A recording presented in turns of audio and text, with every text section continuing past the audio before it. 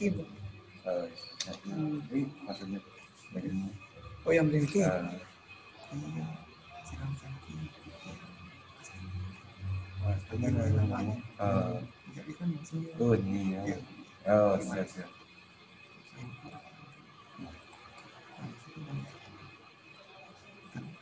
Eh, nah. Ya, siapa ya? Terima kasih banyak. Ngirim.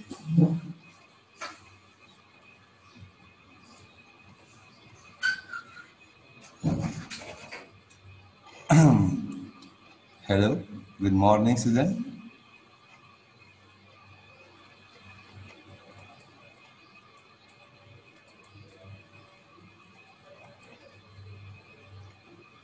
Sri Yulianti, good morning today. Good morning, Miss. Uh, Miss, Mister. Mister. Sorry. okay, okay. Thank you for your uh, time. Welcome. Yes, nice to meet you again, all of you. I hope all of you fine at home, in good condition. And today uh, we will back to English class. okay, I will see you. What's it? Uh, this PowerPoint, the material today. Our material today is passive voice. Okay. I think all of students have studied about passive voice. What is passive voice? In the simple definition, maybe passive. In Indonesian language, you know, ada aktif, ada pasif. How about passive voice?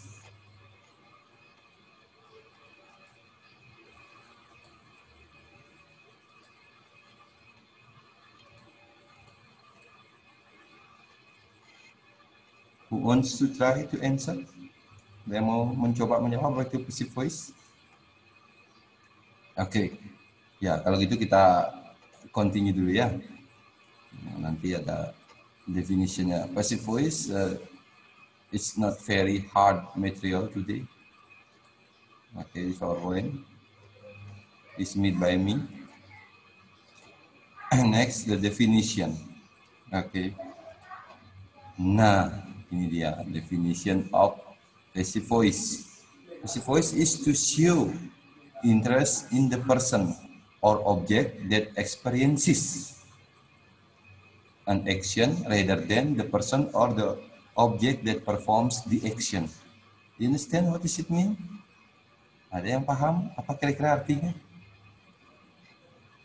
Passive voice is to show interest in the person. Artinya apa? voice voice is not uh, what is is not suara here bukan suara ya kalau di sini ya karena dalam linguistik itu voice itu bisa berarti sentence atau kali kalimat. Ya jadinya passive voice ini artinya kalimat pasif. Ya apa itu kalimat pasif? To show interest in the person or object.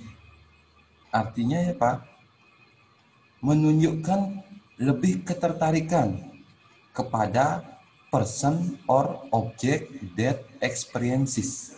Artinya, lebih menunjukkan atau memfokuskan kepada orang atau objek yang mengalami experiences. Mengalami apa? An action, sebuah kegi, kegiatan atau tindakan. Ya, passive voice itu adalah lebih memfokuskan kepada orang atau objek yang mengalami sebuah kegiatan. Fokus kita pada objek yang mengalami kegiatan. Rather than daripada orang atau objek yang perform the action, melakukan kegiatan. Ya, jadi kita fokus here is not to the actor atau doer, but the victim, si korban. Kita fokus pada korban karena yang mengalami sebuah kegiatan. Ya, jadi kita lebih fokus pada objeknya, objek yang mengalami suatu kegiatan atau tindakan. Ya, nanti eh, lebih simpelnya eh, ada penjelasan lagi. Notice. Ya. What is notice? Ada yang tahu? Ini kok ada keramik kelihatan. Oke, okay. what you notice? Belana maybe. Wow, Belana langsung hilang. Ya, notice itu apa? Pengumuman atau perhatian. Ya, if you want to make a passive voice atau kalimat pasif nanti ada beberapa uh, rules atau aturan yang harus kamu ikuti. Ya, yang pertama adalah only transitive verbs can be changed into passive voice. Artinya apa? Hanya transitive verbs. Apa itu transitive verbs? Transitive verbs is verbs that follows by object. Artinya apa? Kata kerja yang diikuti oleh apa? Oleh ob object is follow by object. Ya, harus diikuti oleh objek. For example, ya dalam Indonesian we know subject, predikat, objek. SPO. Kadang-kadang ada K-nya. Kete, keterangan. Subjek, predikat, objek. Nah, kalau transitif verbs yang mana? Ada transitif, ada intransitif. Kalau transitif perlu objek. Kalau intransitif tidak perlu objek. Contohnya, for example, saya tidur. In English is I sleep. Sleep is transitive verbs or intransitive verbs? Sleep, saya tidur. Apakah di kalimat itu ada objek? Saya tidur. Ada objek? Tidak. Yang ada cuma subject and verb. Subjeknya I, and verbnya tidur atau sleep. I sleep without object. Itu disebut dengan intransitif, bukan transitif. Kalau transitif itu perlu objek. Ada objeknya. For example, ya, saya belajar bahasa Inggris. Saya belajar bahasa Inggris. I study English. I study English. Ada subjek, ada verb, ada ob objek. Ya. Ada objek. Selain itu, in other hands, I give you the example. Saya membeli nasi goreng. Di sana ada subjek, ada verb, verbnya apa? Verbnya apa? Purnama? Apa verbnya? Uh, verbnya adalah buy atau membeli. Membeli. Membeli apa? Nasi goreng. Fred? Fried rice. Fried Iya, I buy fried rice. Itu karena ada objeknya yaitu fried rice, jadi membeli itu termasuk transitive verbs. Artinya dia memerlukan objek. Saya membeli. Bisa kalimat seperti itu, saya membeli saja. Saya membeli. Membeli apa? Harus diikuti objek. Tapi kalau saya tidur, tidur apa? Nggak perlu apa lagi kan? Cukup saya tidur. Berarti tidur tidak perlu objek lagi. Ya, kalau tidak perlu objek, dia disebut dengan intransitif. Intransitif. Tapi kalau perlu objek, disebut dengan transitive verbs. Atau kata kerja yang memerlukan objek. Okay, biar nggak habis waktunya ya. Nanti you can check in the Google. Oke, okay, the next is transitive verb has an object which become the subject or sorry of the passive voice. Kata kerja yang tadi itu kata kerja transitif itu mempunyai sebuah objek, harus ada objeknya. Dia akan menjadi apa? Become subject. Ya. Dia akan menjadi subjek dalam kalimat pak pasif. Ya. Nanti akan ada perubahan posisi nanti ada uh, rumusnya. Next, the subject of the active voice is made the object of some preposition generally by. Ya. Nanti subjek yang akan yang atau doer atau pelaku yang dalam kalimat pasif itu ya biasanya nanti diawali umumnya diawali dengan kata by. Ya, nanti kalau look at the the example you will understand what I mean. And after that the passive contain the past participle third form. Nah, the passive voice kalimat pasif ini nanti berisinya itu bukan pub one pub two ya yang ada itu udah past participle atau third form form sorry atau pub 3 yang kita kenal dengan pub 3 makanya kita harus tahu nanti apa aja pub 3 itu perubahannya apa aja nanti saya kasih sedikit ringkasan ya yang kita perlukan nanti third form atau past participle atau pub 3 pub 3 some form of the pub to be is MR was were being or been is used according to the tense. Nah, di sini ada to be yang kita kenal. Ada is, am, are, was, were, being, are, been. Is used according to the tense. Digunakan apa? Berdasarkan pada tenses. Karena kan banyak ada tenses kan. The simple present, simple past, present continuous. eh, Ya, kan banyak jenisnya itu. Ya, nanti penggunaan to be ini tergantung pada tensesnya. Ya, nanti ada beberapa tenses yang akan saya jelaskan. Oke, next is the tense of the verb does not change. Artinya apa? Tenses-tenses yang digunakan itu tensesnya tidak berubah. Ya. Yang berubah itu apa? Yang berubah itu adalah verbnya, kata kerjanya. Kita menggunakan bentuk ketiga atau kata kerja ketiga. Yang tidak berubah apa? Tensesnya tetap itu. Kalau simple past tense ya simple past tense, kalau simple present ya simple present. Does not change. Okay. Okay. Uh, look at the structure here. Okay. It's the comparison of active and passive. Ya. Nah, look at structure. Structure is rumus. Rumus ya.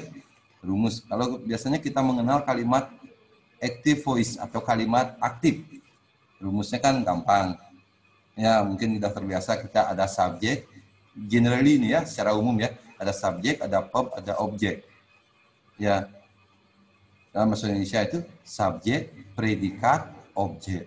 Dalam bahasa Inggris subjek, verb, objek. Nah, di sini ada penjelasan. Subject is doing action. Subjek itu yang melakukan apa? Action. Tin, tindakan ya subjek yang melakukan tindakan ini subjek. For example, I buy fried rice. Saya membeli nasi goreng. Siapa yang membeli nasi goreng? Saya subjek. Ya, jadi subjek itulah yang melakukan aktivitas, melakukan tindakan dalam kalimat aktif. But it's different with passive voice. Berbeda dengan kalimat pasif passive voice structure-nya adalah subject to be pub 3. Ingat, kita dalam passive voice itu menggunakan pub 3. Nah, ada pub 1, pub 2, pub 3. Ya, tapi tergantung juga dengan kalimatnya nanti. Ya, kalau mau membuat kalimat pasif pasti menggunakan pub 3. Subject to be pub 3 plus by plus object. Nah, di sini there is explanation. Subject is the victim subjek itu korban atau get effect of the action mendapatkan akibat dari sebuah tin tindakan dia yang mendapatkan efeknya atau akibatnya ya for example tadi I buy fried rice. Saya membeli sebuah eh sorry. I buy fried rice. Saya membeli nasi goreng. Nah nasi gorengnya ini ya dia dalam kalimat pasif dia akan berubah menjadi sub subjek ya jadi subjek ya.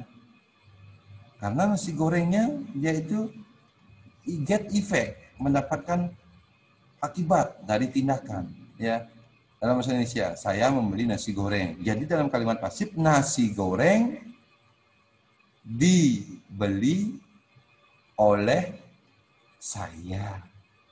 Jadinya subjeknya apa? Dia akan berubah menjadi sorry objek objek dalam kalimat aktif akan berubah menjadi subjek. Jadi fried rice habis fried rice ada to be. To be-nya fried rice apa?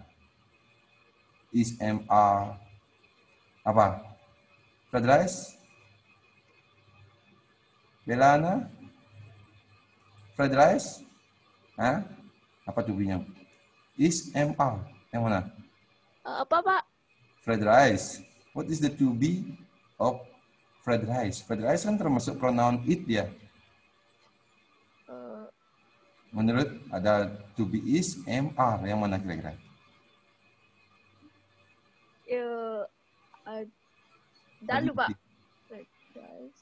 Jangan terlalu lama nanti habis waktunya ini. Fried rice. Is MR. Yang mana?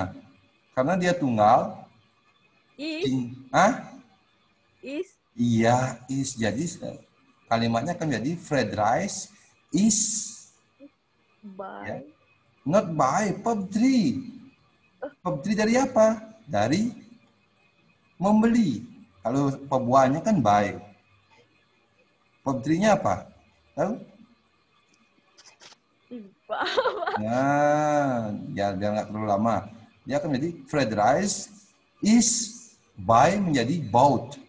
Ya, fried rice is bought by object. Objeknya siapa? Siapa pelakunya? Saya. Saya. Saya sebagai objek apa? Hmm. Hah? Hmm. Me. Yes, good. Ya. So the sentence is fried rice is bought by me. Jangan by I karena sebagai ob objek. Ya, bagus. Thank you. Perbelana. You're welcome. Oke. Uh, next. Untuk lebih paham. Nah, before we start to make passive voice atau passive sentence, I hope all of you have known about parti past participle atau verb three yang tadi saya bilang itu. Harus tahu ini, karena ini dasar kita nanti. Ya, bagaimana caranya Pak? Harus dihafal. Ya, silakan cek di kamus, cek di Google banyak itu ada bentuk-bentuk verb tiga. Ya, past participle is divided into two group. Ada dua kelompok. Ya, yang pertama itu regular verb. Regular. Ya. Yang kedua ada irregular verb. Ada dua jenis ini. Regular itu yang bagaimana? Reguler. There is a rule. Ada sebuah a- aturan. Berarti reguler itu beraturan, memiliki aturan. Aturannya apa? Ya.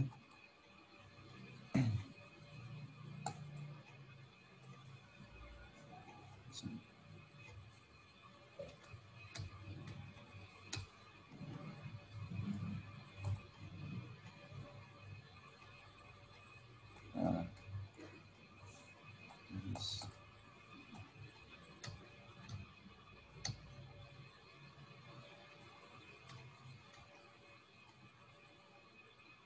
Sorry. Something wrong. Wait a moment. Nah.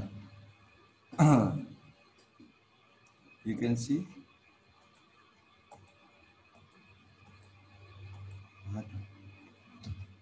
Ya, sini aja langsung ya. Oke. Uh, look at the example. Regular and irregular verb. Regular itu yang beraturan.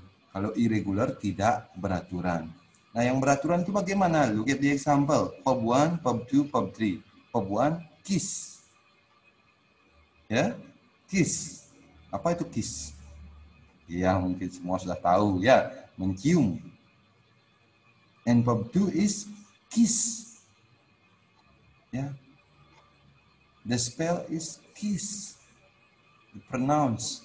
Ya, pengucapnya itu kiss sama, cuma tulisannya ditambahkan ed, ed, ditambahkan ed. Begitu juga dengan verb 3. Kiss. Tulisannya ditambahkan ed. Kiss, kiss, kiss. Bacaannya. Ya.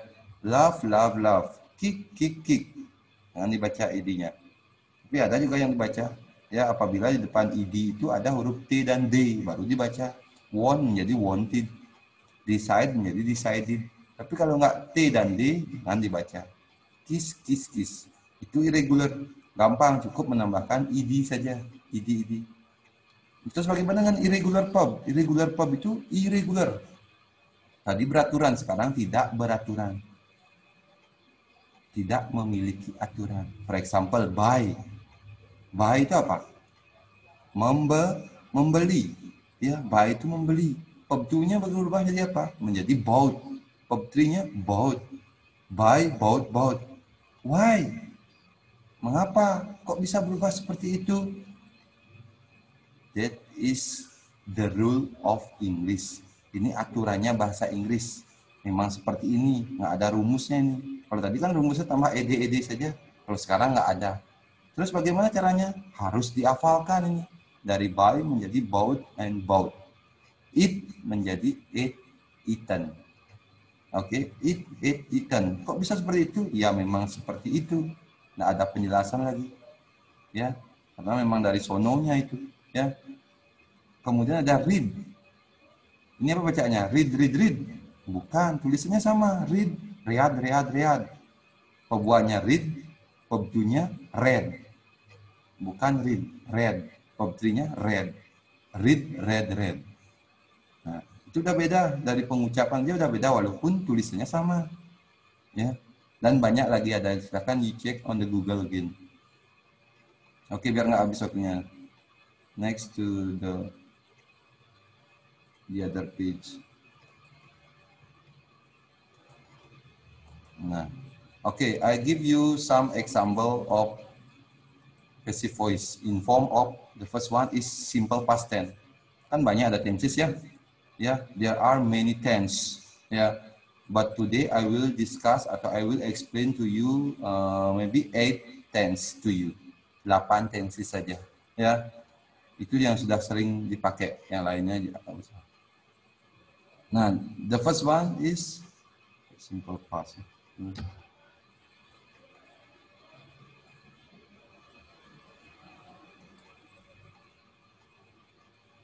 Oke, okay, sorry. The title is simple past here. Ya, judulnya di sini simple past. Kemarin saya salah kurang teliti mengedit. Bukan simple past tense ya, tapi simple present tense. Ya, simple present tense is a tense that is used to to tell about your activity every day. Ya, atau repeatedly, berulang-ulang. Yang paling sering kita gunakan simple present tense ya judulnya. I'm so sorry. Salah uh, edit kemarin. Nah, sini ada umum tensesnya, rumusnya, strukturnya ada subjek plus pabuan plus objek. Ya, seperti yang tadi contoh tadi itu saya membeli nasi goreng. I buy fried rice. Kan gitu kan? Ya sederhana kan? Itu yang sering kita gunakan. Kemudian akan berubah menjadi passive voice. Ya, passive voice dari simple past tense, eh, sorry, simple present tense adalah subject plus to be plus property plus by plus object. Nah, kita lihat perbandingannya di example. Anton and John kick the ball. Anton dan John menendang bola. Jadi objeknya apa di sini? Dewa Yusita kira-kira? What is the object? Anton John kick the ball. Yang mana objeknya? Uh, the, the ball. The ball. Kalau dia berubah menjadi kalimat pasif, objek di kalimat aktif itu akan berubah menjadi sub Sub. Subjek. Jadi yang menjadi subjeknya adalah the the ball. Anton dan John menang bola. Jadi bola ditendang oleh Anton dan John. In English, ya kan? The ball. Ya. Tadi the ball-nya objek. So, sekarang the ball-nya is sub subject. The ball is kick. Ya, kick. Pakai verb three karena bentuknya regular. Anton, sorry, the ball is kicked by Anton and John. Subjeknya apa? The ball. To be-nya apa? Is. Verb three-nya apa? Kick by objek. Objeknya siapa? Anton dan John. Tadi sini kan Anton dan John kan subjek. Dia berubah menjadi ob objek. Oke, okay, the next example. I love you. Nah, I love you. Saya mencintai kamu. Berarti dalam kalimat pasif dia akan menjadi kamu dicintai oleh oleh siapa? Kamu dicintai oleh oleh sa saya. Ya, oleh saya. Jadi, in English, Dewayu Purnama, do you want to try? Dewayu Purnama? Uh, yes. Uh, in English, a passive voice I love you is you love you love To be. uh you you are love you are love me you are love me you are love you are you are loved by me Yes. Maybe we can check. You are loved by me. Okay, good. Give plus for Dewayu Purnama. Okay, you this, Mister yes, this is simple present tense ya. Banyak ada tenses, masih ada lagi tujuh. Kita gas lagi dikit. Nah, ini baru benar judulnya sekarang. Simple past tense. Ya, kalau tadi kan simple present. Pasti kan we tell about the activities in the past time. Ya, di masa yang lampau. Masa yang lampau kita menggunakan pub pub do. Ya. Nah, kalau pasifnya tetap menjadi 3. Kalau present, simple present, pub 1. Kalau simple past, pub 2. Nah, check the example.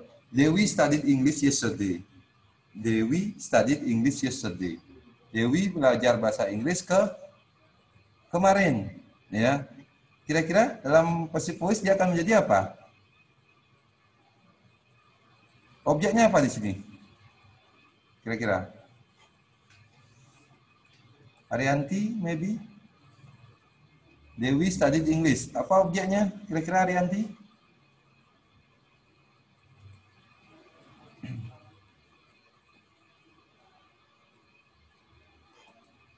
Ah, sorry. Udah nggak bisa ini.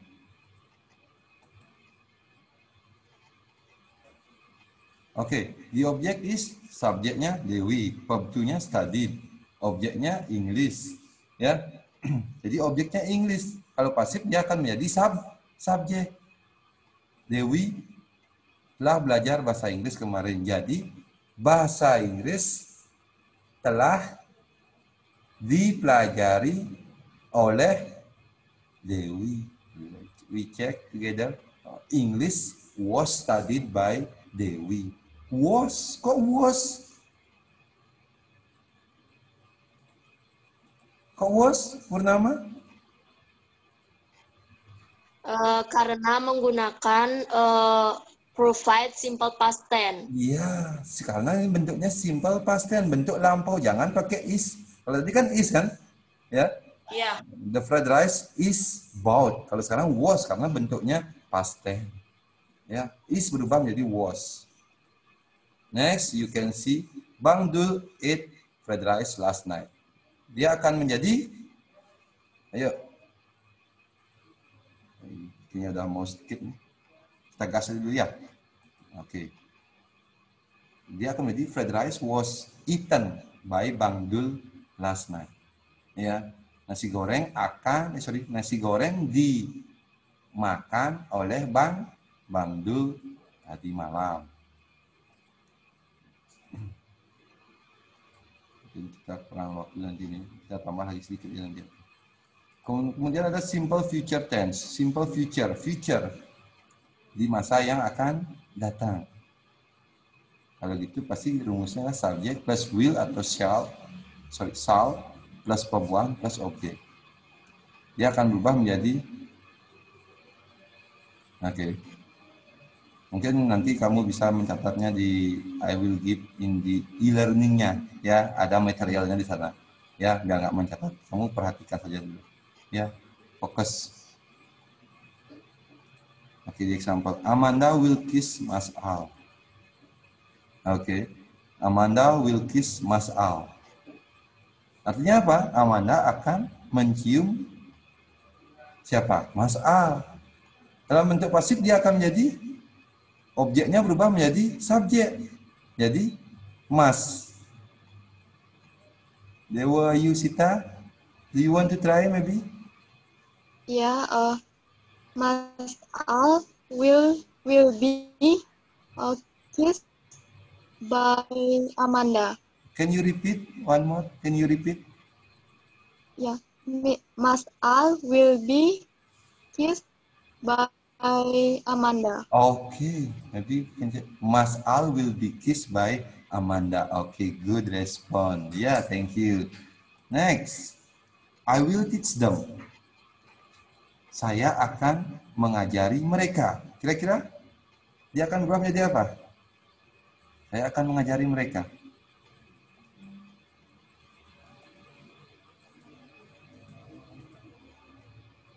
Oke, ayo. Ini aja saya lihat ini profilnya yang muncul. I will teach them. Saya akan mengajari mereka. Jadi mereka mereka akan diajari oleh saya. In English is mereka akan diajari oleh saya. In English is Yulianti, do you want to try Yulianti? Them will be teach with by me. Dari teach dia, apakah dia ber- beraturan apa tidak beraturan? Tidak. Tidak beraturan, ya. Teach menjadi tough. Ya, Are tough. Ya, tall. iya.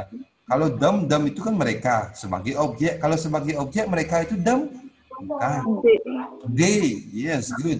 Habis they will, they will be tough by me. Yes, they will be tough. Kenapa nggak teach? Harus pakai pub 3. Ya, perubahan pub, pub 1-nya teach, pub 2-nya tough. Pub 3-nya apa? Tough juga. Ya, oke bagus. Uh, I think you uh, you understand, but it's not uh, uh, complete. Ya, nanti tambahkan lagi. Oh, udah pemahamannya udah masuk sedikit. Ya, tadi cuma mengubahnya belum kayak tadi. Dari them karena sebagai subjek dia akan ubah menjadi they. Jangan them di depan, ada them will, ada them will, they will. Ya. Oke, thank you for your response.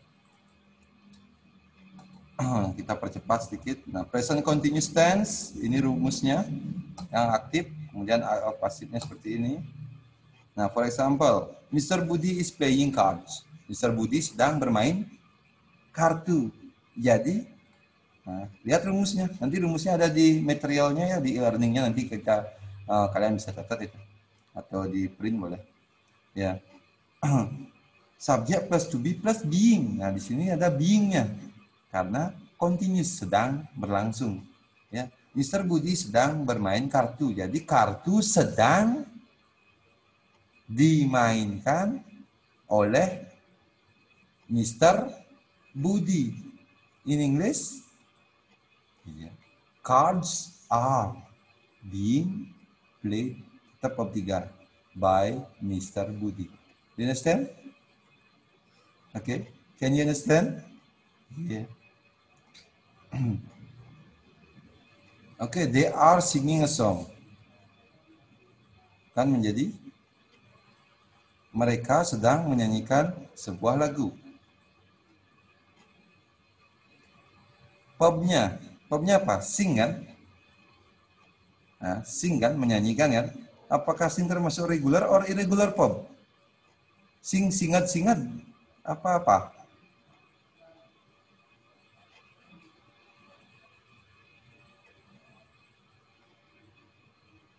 Oke, semua cek sendiri. Yes, Dewayu Purnama.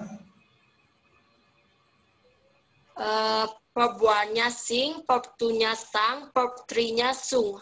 Sung. Ah, Oke. Tulisannya. Tulisannya. Ya.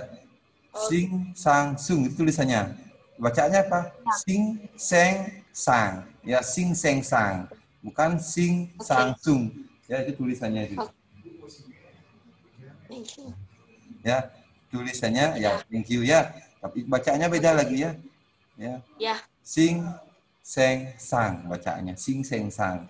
Tulisannya sing, sang, sung. Nah, itu harus Adi bisa gitu. Ya, harus harus memang seperti itu. Nggak ada penjelasan lagi. Ya, dia akan menjadi the song is being sung. Ya, the song is being sung by them. Lagu itu dinyanyikan oleh mereka. Oke ya bu minta lagi sebelumnya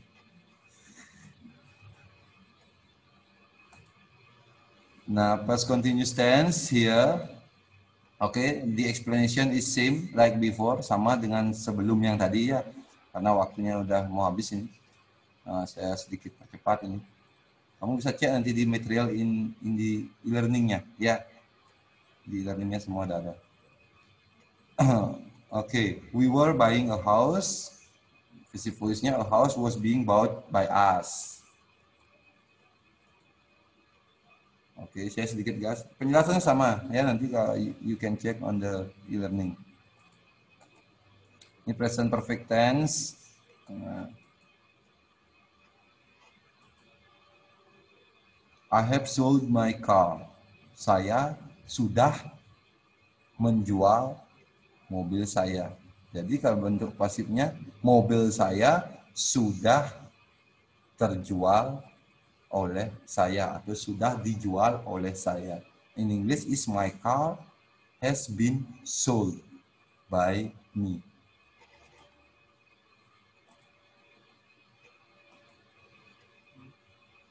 Past perfect tense. Nah, Tensesnya ini ada structure-nya dalam bentuk active and passive. Nah, di example, I had already seen this movie. Saya sudah menonton film ini. Saya sudah menonton film ini. Jadi film ini sudah ditonton oleh saya. This movie had already been seen by me. Ya, nanti cek ya di learning. Oh, masih ada lagi satu ini tensesnya. Future perfect tense. Siska will have finished the job right now. Siska akan sudah menyelesaikan pekerjaannya sekarang. Jadi, in English, pekerjaannya akan sudah diselesaikan sekarang oleh Siska. Ya. So, yeah, the job will have been finished by Siska right now. The job will have been finished. Pekerjaan itu akan sudah diselesaikan oleh Rizka, sorry, oleh Siska sekarang. Nah, tadi kan tenses. Ya, yeah, there are eight tense if you, oh, what's it? If you not, ya. Yeah. And now, the other hand, I give you additional tambahan, ada models. Models itu termasuk apa saja model yang disebut dengan model ada can, could, will, would, shall, should, might, might, must, ought to. Model ini beda, beda dengan verb ya, berbeda dengan verb bukan kata kerja dia, berbeda dengan verb. nah, look at the structure. Aktifnya ada subject plus can verb, uh, verb one plus object. Pasifnya passive voice. Nah, Oke. Okay. Sini can salah satu dari model ya one of the models ya salah satu dari modelnya itu can. Can itu apa artinya? Bisa. Ya kan? Bisa kan? Ya. The example I can help you. Saya bisa membantu kamu. Ya, model beda dengan pub. Pubnya apa di sini? Pubnya apa? Help. Iya, help. Pubnya kan help. Bukan, ini model ini. Ini, nah ini model semuanya. Ya, saya bisa membantu kamu. Dalam bentuk pasifnya akan menjadi ya, saya bisa membantu kamu. Jadi bentuk pasifnya kamu bisa atau dapat dibantu oleh saya. Ya, pakai to be? Enggak cukup pakai be. Karena rumusnya strukturnya subject plus can plus be. Bukan to be. Be. Langsung be. Ya bukan is mr be. Can be. Could be. Will be would be shall be should be might be ya must be ya, kalau udah pakai model cukup tambahkan be saja my mother must cook rice every day ibu saya harus memasak nasi setiap hari jadi nasi Puan Sutrai. Nasi harus dimasak oleh ibu saya setiap hari. Belana, do you want to try? Uh, rice Rice can be Not can. Where is? Where you find Ra- can? rice uh rice must Must must be be. cooked Ah, nggak ada cooked. Bacanya sama. Cook. Tulisannya cooked. Ya. By mother. Rice must be cooked. By mother. By sorry the structure you have to add by sini ya. Sorry saya lupa menambahkan by sini. Ya by my ma mother every day. Check the answer. Rice must be cooked by my mother every day. Oke okay, thank you Belana itu model. Nah kemudian ada change of interrogative sentence interrogative sentence atau kalimat tanya saya gas sedikit jika ada kalimat tanya mau dirubah menjadi negatif, ya, ini ada beberapa rules atau aturan. Firstly, retain the question mark at the end of the sentence. Artinya retain, defend, pertahankan. Jangan dihilangkan tanda tanyanya. Tetap isi tanda tanya ya. Yang pertama. Secondly, put an appropriate helping verb before the subject according to the tense. Put, taruh atau isi appropriate helping verb. Ya, helping verb itu sama dengan yang tadi itu to be atau be atau been atau being sorry being uh, being ya. Itu helping verb auxiliary kata kerja bantu. Kalau kita kenalnya auxiliary ada do does is am are yang itu ya. Harus appropriate yang benar before the subject sebelum subject according to the tense itu aturan yang kedua kemudian the thirdly atau aturan ketiga yang ketiga, question word like what, when, why, where, who, when, atau yang kita kenal uh, 5WH itu loh, ya.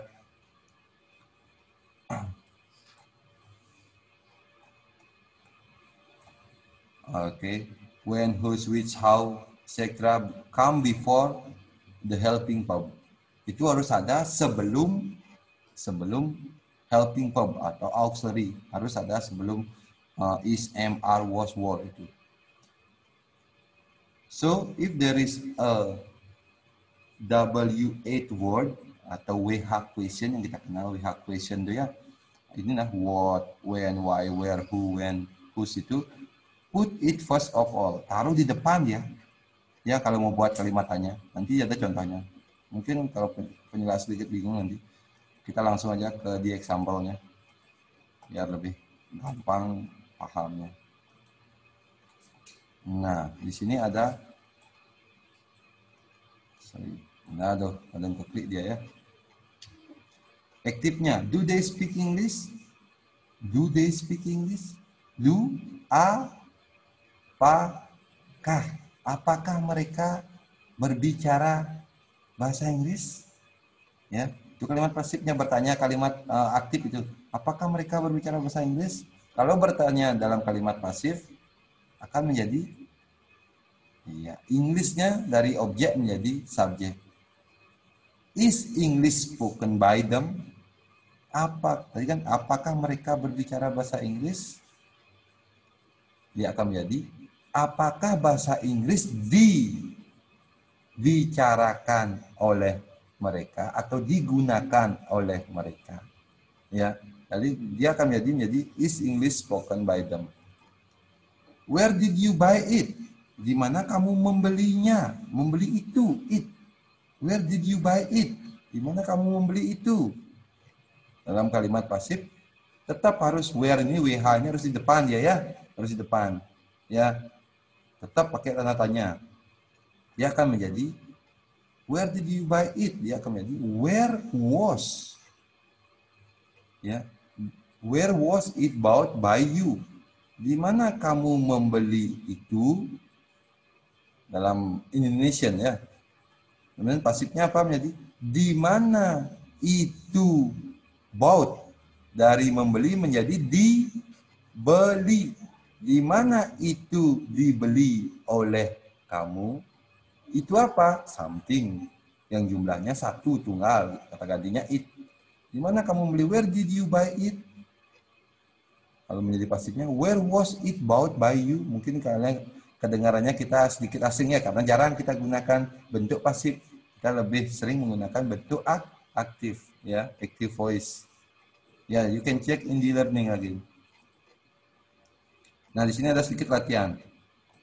Maybe two minutes again. Okay. Who wants to try to answer? Number one is I read the book. Number two, we can watch Ikatan Cinta movie every day. Number three is when did you play volleyball? Number one, who wants to try to answer? Ayo, I read the book. Menjadi apa? Come on. Ayo. Purnama? Yes. Sorry.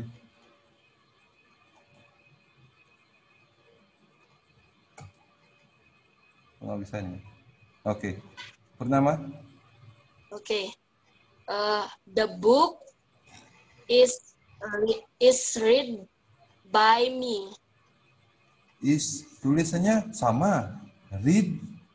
Read. Read. Read. Read. Read. Bacaannya read. Read Read. Okay. Can you repeat? Can you- again. Okay. Yeah. Okay. The book the book is read by me. Not read. Read kan bentuk tiga. Oh, the book is read by me. Okay, we can check. The book is read. Iya, bagus. Thank you. The book is read. Bukan read bacaannya ini. Karena bentuk tiga. Ya. Read, read. Ya. Ya, read, read, read. Ingat itu, read, Oke. read, read. Jadi Okay. ini bacaannya read. Karena form 3. The book is read by me. Oke, thank you Purnama. Ya. Welcome. Next, ada. Oke, number two, we can watch Ikatan Cinta movie every day. Kita bisa menonton Ikatan Cinta, film Ikatan Cinta setiap hari. Ya kan? Dapat nonton di rumah? Nak. Bela anak kayaknya geleng-geleng nggak senang ini. Oke, ya. Kira-kira dia akan berubah menjadi apa? To try? Ya, anggap ini keterangannya dihapus, di, ditutup dulu. We can watch Ikatan Cinta movie. Dia akan menjadi Who wants Ada lagi. Menjadi objeknya apa? Ikatan cinta. Sorry, ikatan cintamu movie. Itu kan objek kan? Dia akan menjadi subjek. Jadi ikatan cinta movie akan diton akan bisa sorry uh, ikatan cinta movie bisa ditonton oleh we ka kami ya setiap hari dia akan berubah menjadi ya, ikatan cinta movie can be watched by us kenapa us kok enggak we kenapa us asnya apa? Kami kan? Kenapa dia us karena sebagai objek. Kalau we sebagai subjek kalau us sebagai objek. Sing ada nggak ada ya. Ikatan cinta movie can be watched by we sing ada by we harus by objek. Objek dari we apa? Us ya. One. One more when did you play volleyball jadi when was volleyball play by you oke okay? ya mungkin dah, dah, dah lebih waktunya ya uh, kita dah lewat ini oke okay? now maybe you have a question about uh, our material today is passive voice do you have question biar nggak biar pelajaran yang lainnya biar nggak terganggu ini. You question? Okay. Uh, for more material atau for more understanding, you can read in the e-learning. I will upload it uh, maybe uh, in the afternoon. Ya, nanti siang ya. Ya, nanti siang akan saya uh, upload ini. Silahkan dicek nanti ya biar lebih paham. Okay. Okay. Is it clear? Yeah. Okay, I will finish uh, this class, English class today, and thank you for your thank you for your attention. Yeah, and for your time. I hope all of us in good condition forever. Okay. See you in the next meeting. Okay, bye-bye.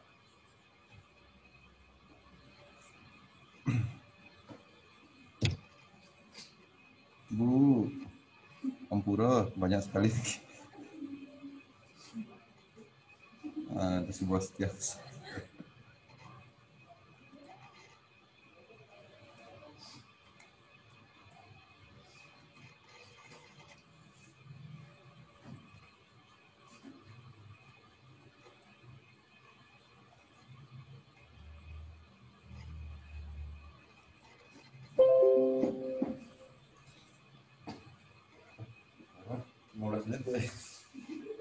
Oh iya ini lewat masih gini.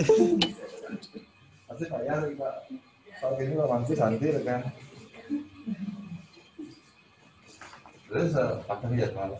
Oke, terus Biasanya murah di sini ya. Murah di ya kelas 11 segantan. Oh.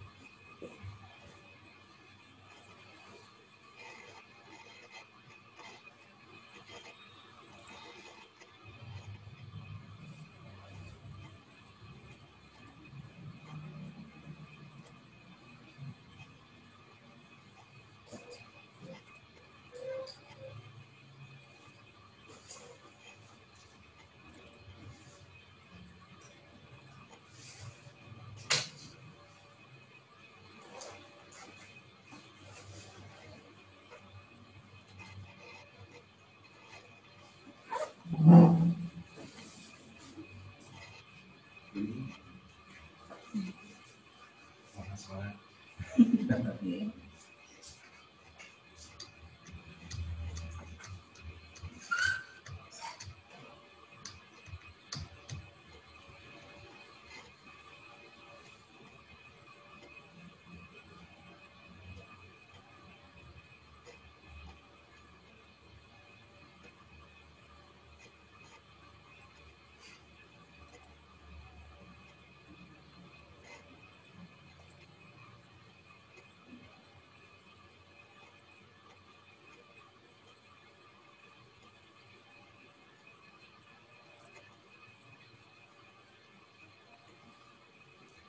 Swastiastu.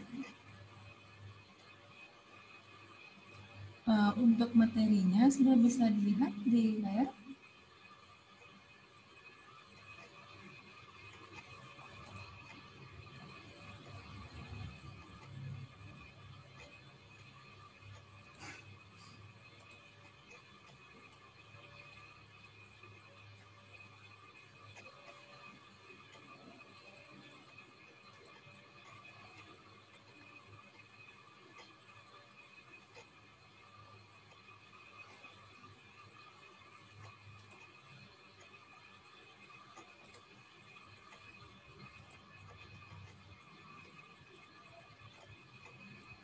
Sudah ya. Eh, baik, Ibu lanjutkan. Untuk pertemuan kedua, itu Ibu akan menjelaskan mengenai bagan dari struktur organisasi dari hotel besar ya. Yang pertama itu ada general manager, ada sekretari, asisten eksklusif, residence manager, marketing director, chef, HRD, FO, FNB, accounting, chef, dan executive housekeeping.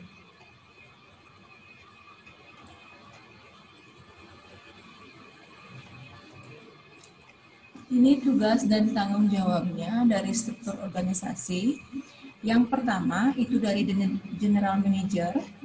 Dia bertanggung jawab terhadap operasional, membuat perencana, perencanaan, dan menciptakan budaya, menjalin komunikasi dengan perusahaan lain, dan membuat keputusan.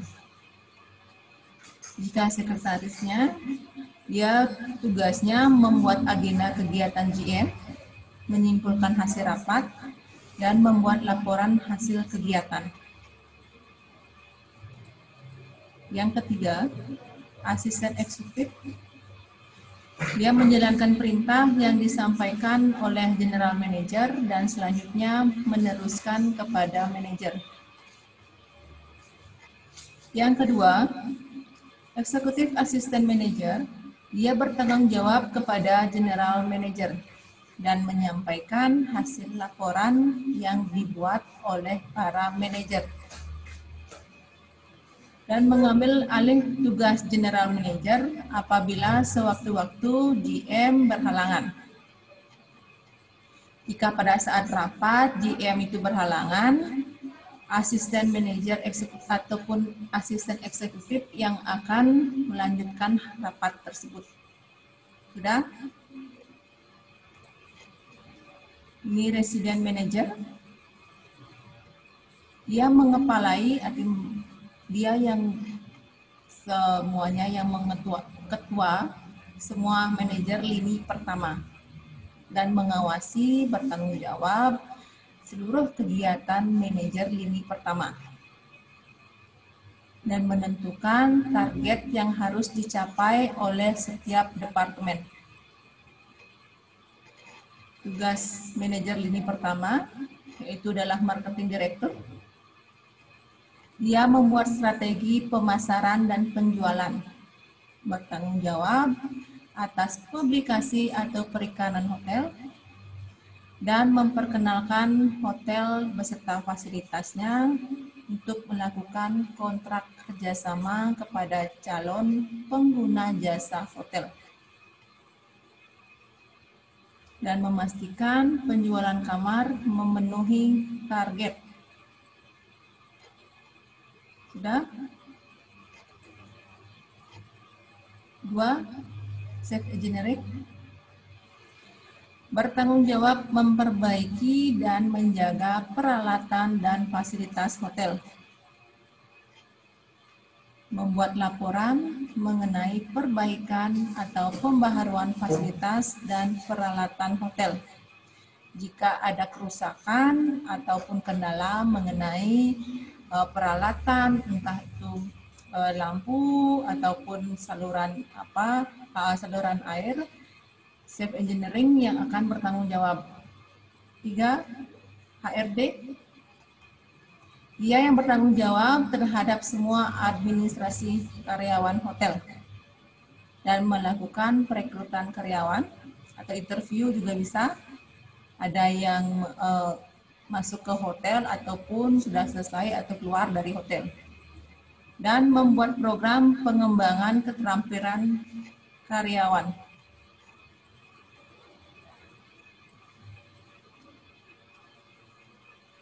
Front Office Manager bertanggung jawab terhadap semua aktivitas di front office, mengoptimalkan, memaksimalkan occupancy rate, atau penghitungan harga, harga kamar maksudnya ya, dan membuat laporan kamar, check-in atau out-nya, dan reservasi. Dia menjual kamar, dan tugas ini antara lain menerima pemesan kamar, menangani tamu tanpa memesan kamar, dan melaksanakan pendaftaran dan penentuan kamar. Biasanya kalau pemesanan kamar itu apakah kita yang memesan kamar itu harus langsung datang ke hotel atau boleh lewat switchboard atau telex dan telegram. Biasanya jika pemasaran hotel itu biasanya dilakukan itu dengan cara apa biasanya? Kalau anak-anak ketahui biasanya pemasaran hotel ataupun uh, promos, mempromosikan hotel dan fasilitasnya itu dengan cara apa biasanya? Ada yang ingin jawab? Selain dari mulut ke mulut, selain dari uh, dari misalnya dari koran ataupun dari majalah ataupun dari yang lainnya.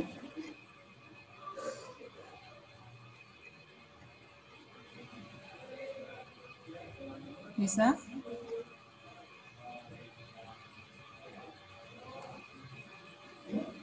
Ada yang mau jawab?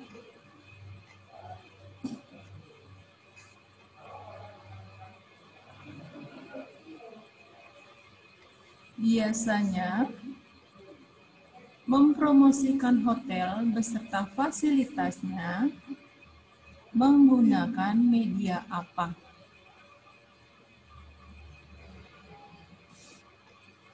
Biasanya jika mempromosikan hotel beserta fasilitas yang ada di hotel menggunakan media apa?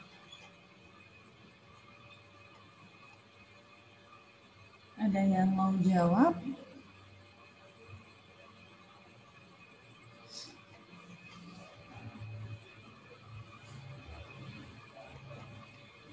Ada?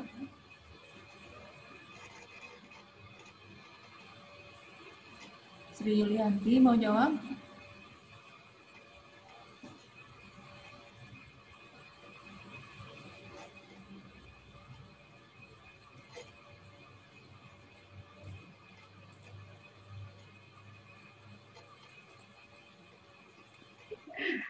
Menurut saya, Bu, dari media internet atau elektronik seperti website nama hotel. Uh, terima kasih jawabannya, Sri Yulianti. Baik. Uh, yang kedua, biasanya jika tamu menginap di hotel, ada yang secara langsung datang ke hotel, langsung dia request jenis kamar, entah itu single room, double room. Apakah secara langsung saja atau menangani ataupun dia datang memesan ataupun memesan kamar dengan cara apa saja?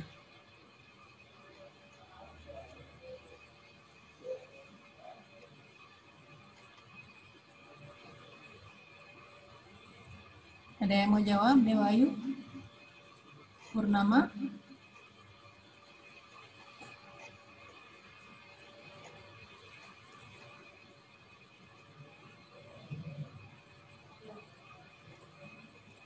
Ya, Eh, selamat siang, Bu. selamat siang.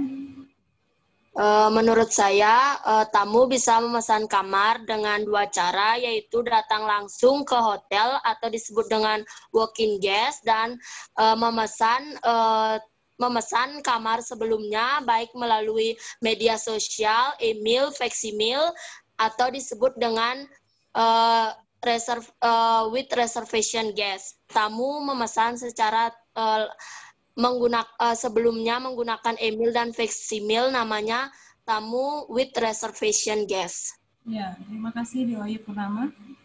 Nah, sama-sama. Eh, ada juga yang yang menggunakan telepon atau switchboard ya. Ada telegram, ada telex. Ini contoh gambar dari switchboard. Ya, seperti ini. Ini merupakan suatu alat komunikasi yang terdiri dari papan panel, lebar yang di dalamnya terdapat sekelar instrumen, yaitu berfungsi sebagai menyampaikan isyarat dari tempat satu ke tempat lainnya. Ini uh, bisa disebut sebagai sistem telekom, uh, telepon kunci ataupun dengan sistem pemburuan. Ini contoh dari switchboard. F&B Manager, Food and Beverage Manager, dia bertanggung jawab pengelolaan makanan, minuman, pemakaian bahan baku, dan menciptakan menu baru. Ini yang pernah terjun langsung di F&B. Biasanya chefnya langsung uh, menciptakan itu menu-menu yang baru ataupun yang inovasi, inovatif. Ada accounting manager, dia bertanggung jawab atas semua pendataan administrasi transaksi keuangan. Biasanya kalau uh, berapa pemasukan dari hotel, pengeluarannya berapa, dia di termasuk dalam accounting manager. Ada self security, dia bertanggung atas bertanggung jawab atas keamanan hotel. Mencegah gangguan keamanan dari dalam maupun luar hotel, dan memastikan lingkungan tamu merasa aman dan nyaman. Ada eksekutif housekeeping, bertanggung jawab atas kebersihan dan kerapian fasilitas hotel dan membersihkan, merapikan kamar yang telah digunakan oleh tamu sesegera mungkin setelah tamu check out. Dan melaporkan kepada FO apabila kamar telah selesai dibersihkan dan siap dijual kembali. Menjaga sanitasi atau kebersihan hotel dari ancaman serangan dan tikus. Nanti kalau misalnya itu ada, tamu bisa komplain tamunya berpikiran bahwa hotel tersebut tidak eh, tidak bersih, tidak menjaga sanitasi. E. Menjaga dan mendekorasi area hotel jika diperlukan. Seandainya ada cat yang mengelupas, ada plafon yang mengelupas, nanti itu akan didekorasi ulang kembali oleh pihak hotel.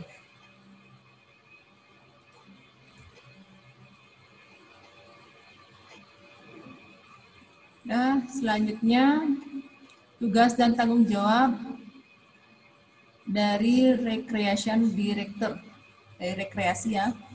Dia bertugas mengelola kegiatan hotel yang berkaitan dengan kegiatan rekreasi di hotel. Misalnya olahraga, permainan, dan pada hari khusus dan menjadi lawan main dalam kegiatan olahraga di hotel. Biasanya kalau di Bali pada saat perayaan Hari Raya Nyepi di hotel kebanyakan membuat kegiatan. Pernah dengar? Pernah? Mengapa pada saat Nyepi hotel melakukan ataupun memberikan kegiatan selama hari raya tersebut agar tamunya yang menginap itu bagaimana? Apa tujuan dari kegiatan-kegiatan yang dilakukan selama hari raya per perayaan hari raya Nyepi di hotel. Apa tujuannya? Ada yang bisa jawab?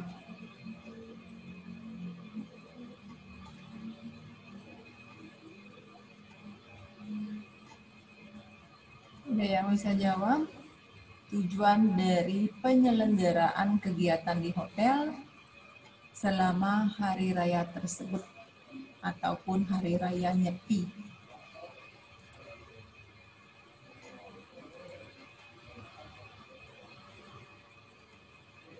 Dewa Purnama.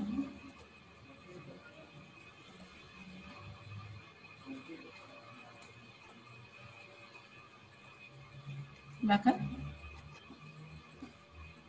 Uh, menurut saya, kenapa pada saat hari raya Nyepi dia ada uh, ke uh, pihak hotel mengadakan suatu kegiatan atau rekreasi di area hotel agar tamu tidak merasa bosan berada di dalam area hotel? Karena pada saat hari raya Nyepi tamu juga harus mengikuti peraturan atau tata tertib uh, orang Bali yaitu uh, amati lelungan yang artinya tidak boleh keluar Ya. dari rumah ataupun area hotel.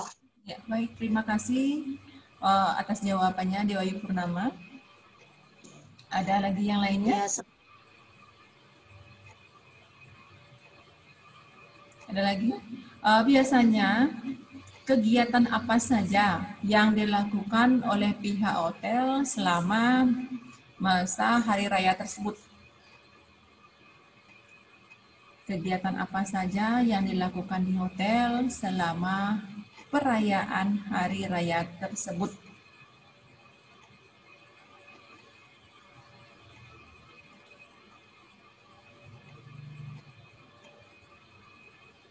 Desi Arniati, AP 9. Bisa? Biasanya selama kegiatan tersebut ataupun hari raya Nyepi tersebut, kegiatan apa saja yang dilakukan oleh pihak hotel? Bisa?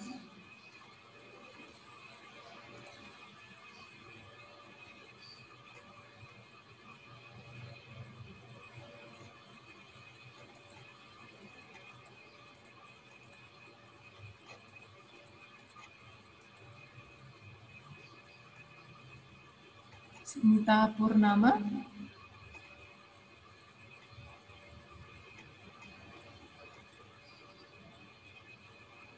Bisa?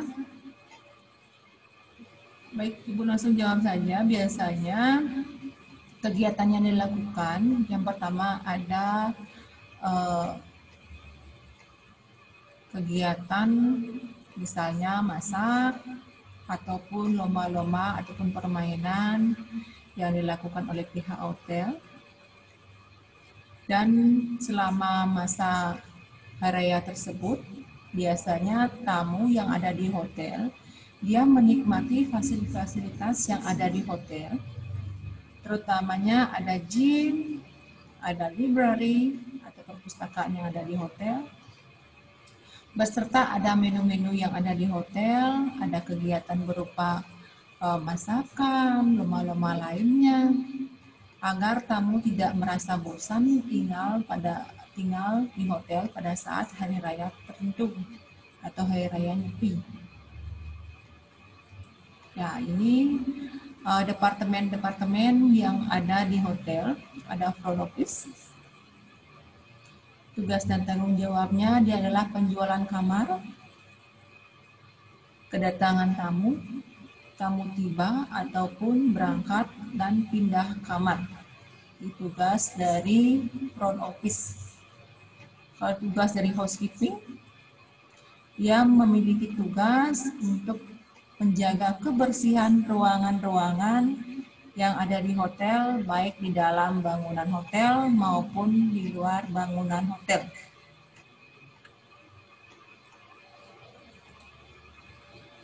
Engineering, sudah Ibu jelaskan tadi. Ada laundry dan dry cleaning, ada ada food and beverage, ada engineering, accounting, marketing, human resource atau HRD, ada processing, ada receiving, story, security, ada transportation. Nah, ini biasanya Departemen atau sub ini adalah bagian yang bertanggung jawab untuk menyediakan sarana transportasi kepada tamu hotel itu saat tiba ataupun selama menginap dan waktu keberangkatannya.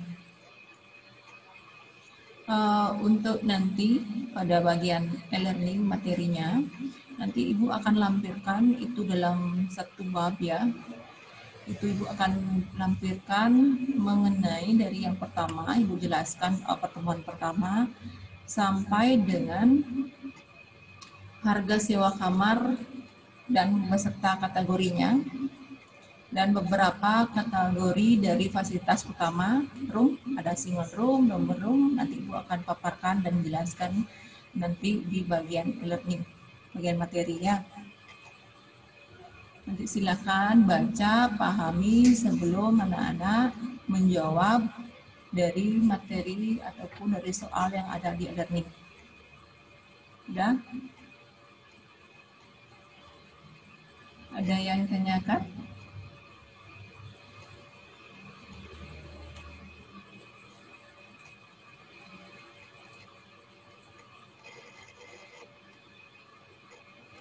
Uh, baik, kalau tidak ada yang tanyakan, uh, Ibu tutup untuk Ramasanti dan dilanjutkan dengan mata pelajaran selanjutnya. Terima kasih atas partisipasinya. Ibu tutup untuk para Santi.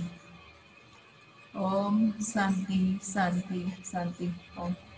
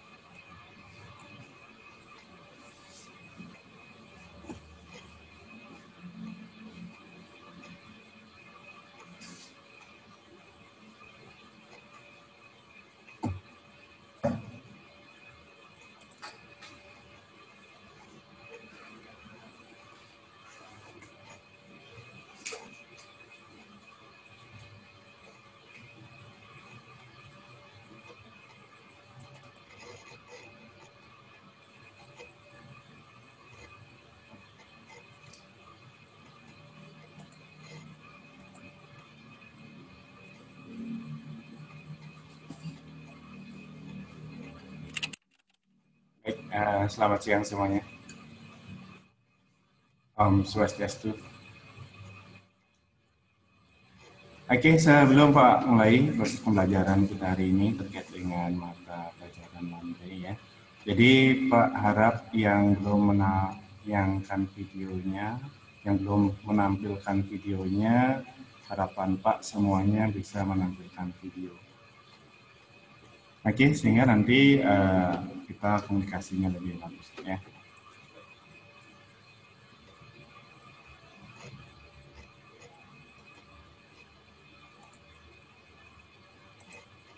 Baik, eh, untuk materi kita hari ini, nah kita akan melanjutkan materi kita minggu lalu. Nah, di mana minggu lalu kita sudah uh, belajar tentang loan release, ya, dan masih banyak kemarin uh, belum bisa. Uh, ketika Pak udah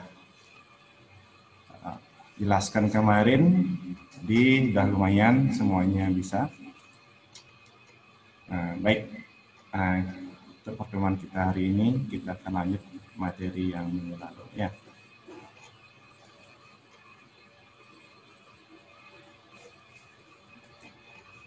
Oke.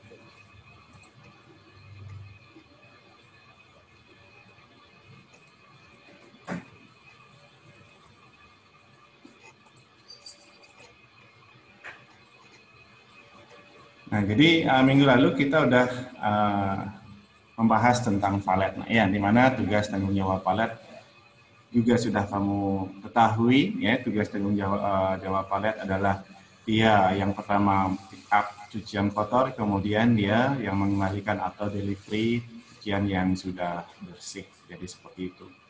Nah, kemudian adapun uh, kelengkapan-kelengkapan yang dipersiapkan oleh seorang valet yang pertama Nah, mungkin kamu sudah ketahui juga ya, dapat jelaskan.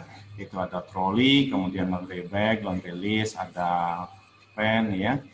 Kemudian uh, kelengkapan itu kita bawa ke kamar ya, untuk melakukan langkah pengambilan uh, cucian kotornya.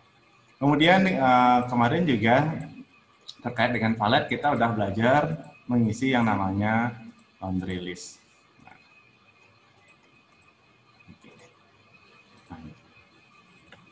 Oke. Nah, palet kita udah selesaikan ya. Kita lanjut ke materi berikutnya itu adalah uh, checker. Ya, langkah berikutnya adalah uh, menjadi seorang checker. Nah, tugas tanggung jawab seorang checker itu adalah uh, melakukan pemeriksaan ya. Pemeriksaan kembali terhadap keadaan cucian, kemudian uh, barang berharga tamu yang ketinggalan. Nah, jadi si ceker ini melakukan proses pengecekan uh, ataupun memeriksa seluruh cucian tamu sebelum diproses lebih lanjut. Jadi seperti itu. Mungkin ada barang tamu yang ketinggalan, mungkin ada cucian tamu yang nodanya sangat membandel, mungkin ada cucian tamu yang robek, mungkin juga ada kancing baju tamu yang lepas cuciannya. Jadi seperti itu. Nah, itu kita harus cek dengan baik. Kemudian alat yang dibutuhkan apa saja. Nah, Bella Ana. Bella? Ya, Pak. Nah, santai sekali ya. Alat yang digunakan yaitu laundry list sama pulpen. Uh, gitu aja ya. Uh, sama sama keranjang atau basket, Pak. Oh, keranjang basket, ya. Uh, baik. Kemudian apa sih fungsi dari laundry list itu dalam kita melakukan checker ini, Nak?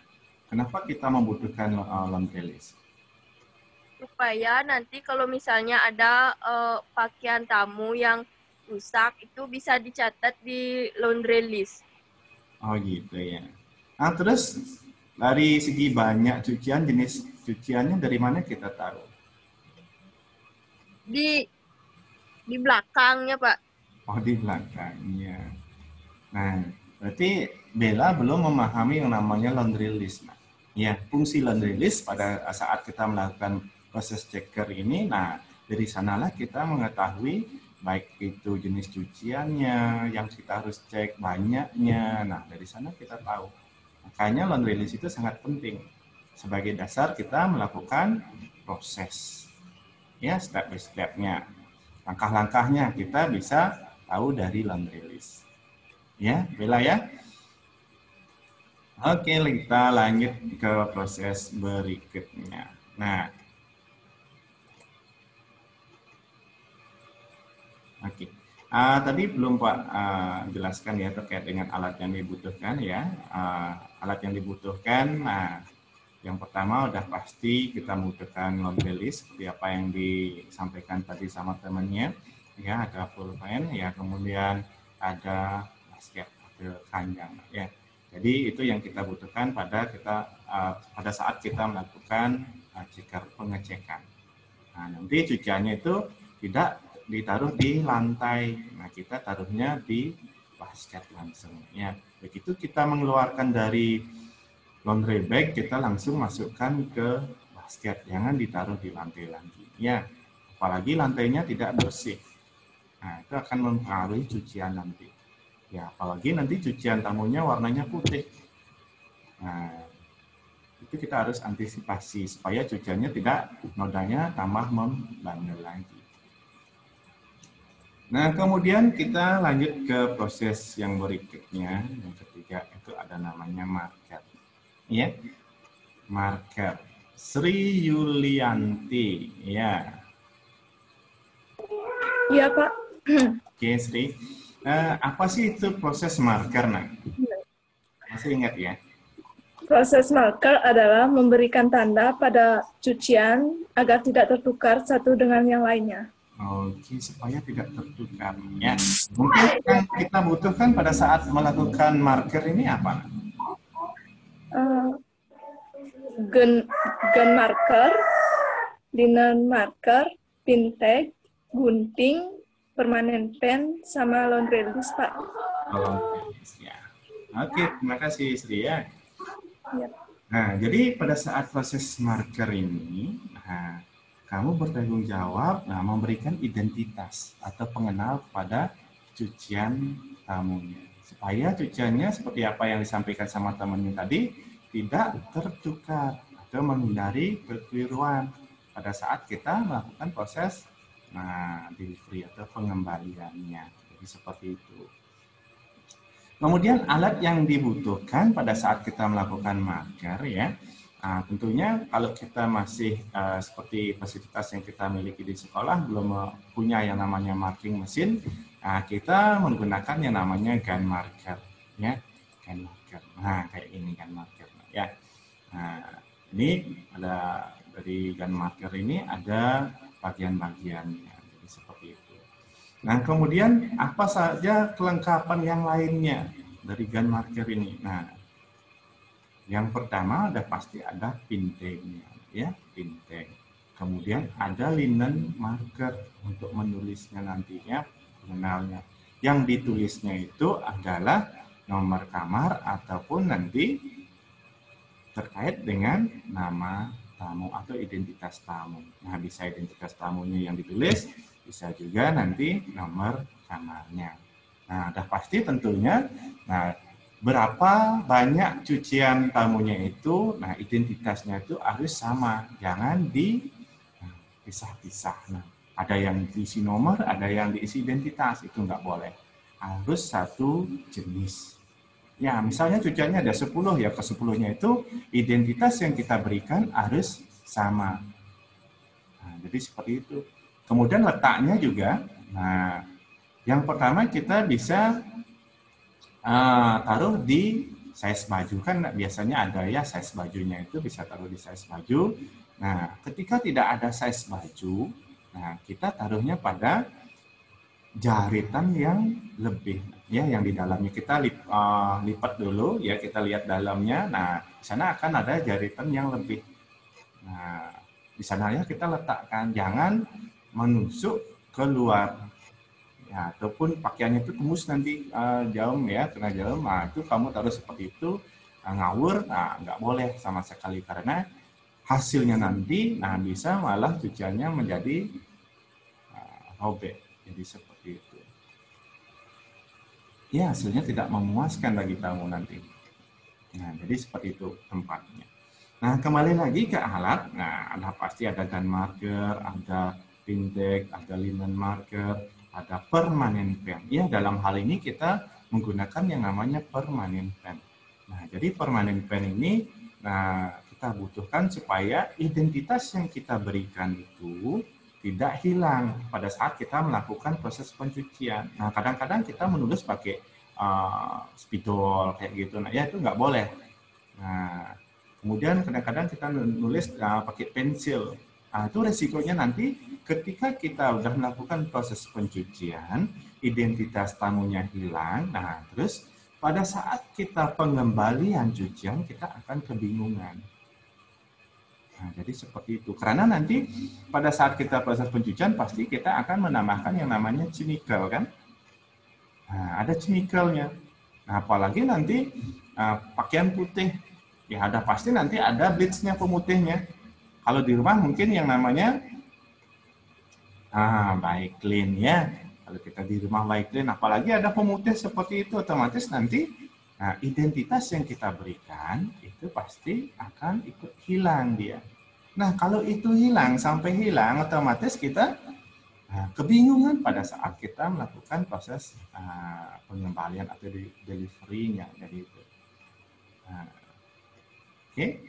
Nah, jadi itu yang kita butuhkan. Nah, di samping itu juga kita membutuhkan tetap um, basket. Nah, ya, basket tetap. Kemudian laundry list juga tetap kita butuhkan pada saat uh, kita melakukan marker ini. Nah, karena dari laundry lah kita bisa mengetahui identitas, identitas tamunya, termasuk juga nomor kamarnya. Jadi seperti itu. Nah, oke. Okay. Nah, kemudian kita lanjut lagi. Nah, sorter.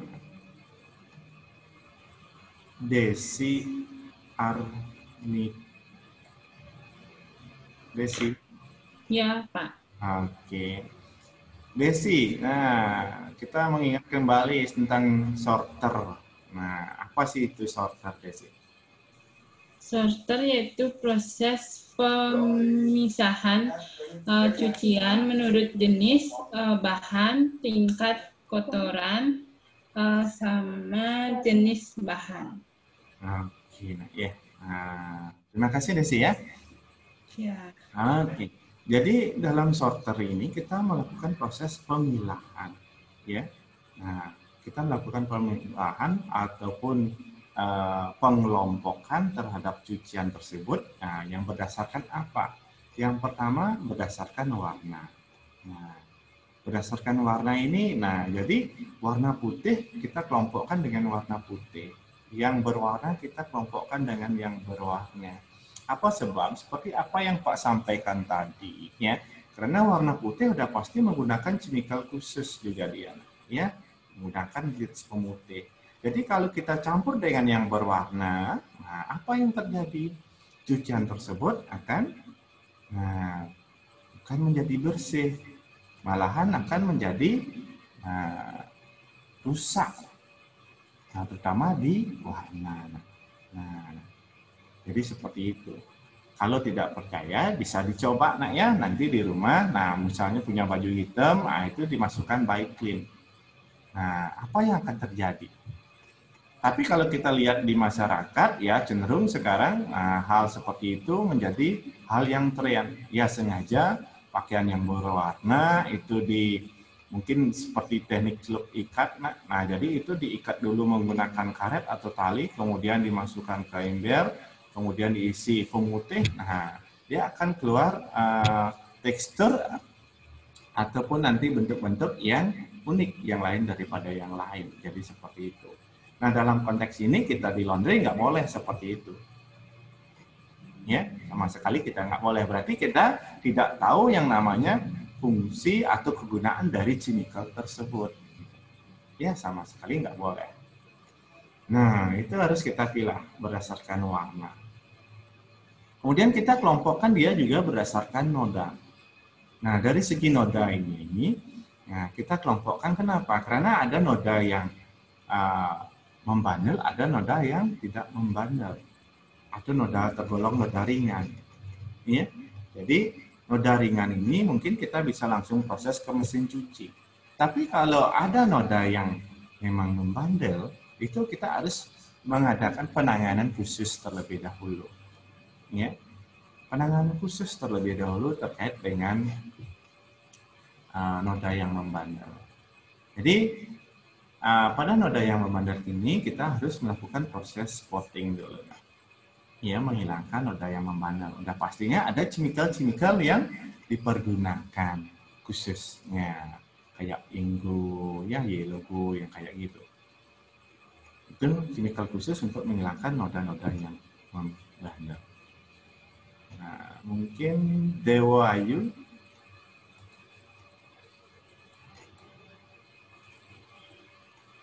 Dewa Ayu kita Iya. Nah, terkait dengan chemical, Dewayu masih ingat ya? Nah, jadi apa sih yang dipergunakan untuk chemical yang dipergunakan untuk menghilangkan noda-noda yang membandel? Nah, chemical khususnya. Mungkin untuk tinta. Chemical apa yang dipergunakan, Dewayu?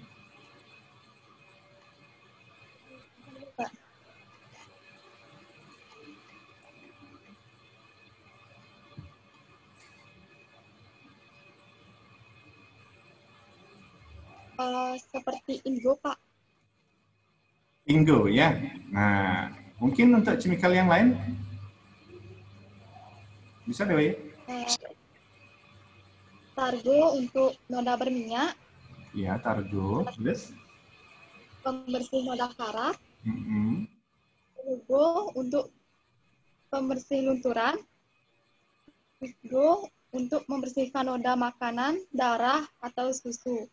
Bongo untuk membersihkan noda minuman kuah, membersihkan noda minuman dan minuman dan kuah mudah dipergunakan serta sangat aman. Red Go untuk membersihkan noda minuman dan kuah, dan warna khusus atau sensitif. Oke, okay, belajar lagi ya, Sinta ya. Oke, Pak minta diulang sekali lagi uh, Niwayan Sinta. Purnama. Uh, ya Pak. Oke. Adapun ya. Adapun semikal khusus yang digunakan pa, uh, pada masing-masing noda, yang pertama itu Ingo yang digunakan untuk noda tinta, yang kedua Rusgo uh, untuk noda karat, dan Quitgo yang digunakan ya? untuk noda, untuk noda soft drink dan bongo digunakan pada noda makanan dan minuman. Yellow go digunakan untuk memutihkan pakaian yang putih luntur. Red go yang digunakan untuk noda kerah baju. Nah, noda yang ada di kerah baju. Kerah baju. Itulah ya. Nah, itu yang dipergunakan untuk menghilangkan noda-noda yang membandel. Kemudian kita bisa pilih berdasarkan servis atau pelayanan. Nah, servis atau pelayanan. Nah,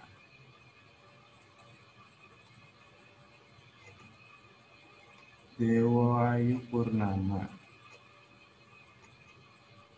Selamat siang, Pak. Oke, selamat siang. Ya, sehat ya? Nah, sehat. Oke. Nah, jadi, nah kenapa kita harus pilih berdasarkan servis atau pelayanan, Dewa Ayu? Ya, menurut saya kenapa pada saat proses sorter ini ada pilah menurut pelayanan atau servis karena uh, kita harus uh, mencuci atau memproses terlebih dahulu uh, dari pelayanan urgency service, baru express service, baru setelah itu regular service. Sudah? Ya, karena urgency service itu adalah uh, adalah artikel yang dikumpulkan sebelum jam 12 siang dan dikembalikan sesegera mungkin. Uh, setelah itu kalau express service itu dikembalikan uh, dalam waktu 3 sampai 4 jam dan kalau regular service itu di uh, eh, artikel dikumpulkan jam 12 siang dan kembali dikembali akan dikembalikan jam 6 sore. Maka dari itu yang pertama dilakukan adalah urgency service yaitu setelah itu express service baru le- regular service. Oke. Ya, benar sekali ya, Dewi ya. Ah, terima kasih ya. Nah, Ya. oke, ya, seperti apa yang dijelaskan tadi sama temannya, nah, memang seperti itu nak ya, karena kita harus pilih berdasarkan servis atau pelayanan. Di mana servis itu kalian sudah ketahui ada tiga, ya, ada reguler, ada express dan ada urgently. Nah, dari ketiga uh, servis tersebut, nah, jadi pelayanan yang kita utamakan yang paling cepat itu adalah urgently. Nah, urgently atau uh, urgent ya sifatnya itu harus sesegera mungkin diselesaikan, kita kembalikan. Nah, jadi durasi waktunya 1 sampai 2 jam udah harus selesai dia. Jadi seperti itu. Itu yang harus kita lakukan atau berikan pelayanan lebih pertama, utama. Jadi seperti itu. Kemudian yang berikutnya ada express. Nah, durasi waktunya itu mencapai 3 sampai 4 jam. Nah, jadi urutan kedua ya express kita ambil. Nah, ketiga baru kita yang namanya reguler. Nah, itu pelayanan yang normal, standar, itu reguler. Nah, dari ketiga tersebut, nah, nah, mungkin kalian juga sudah ketahui, nah, adapun nanti dari tiga servis atau pelayanan tersebut, itu akan ada Nah, ter- dari misalnya di Express itu ada tambahan biaya lagi 50% seperti kita bahas minggu lalu ya. Kemudian kalau yang urgently-nya itu tambahan biayanya lagi 100%. Nah, itu harus kalian uh, ingat ya dan ditambah nanti terkait dengan tag and service-nya. Ya, lagi berapa persen ya? 21 persen itu. Nah, itu. Nah, itu uh, yang terkait dengan sorter. Nah, kemudian kita lanjut sekarang ke proses berikutnya ke wasal proses pencucian. Nah, Sulasmi ada ya Sulasmi?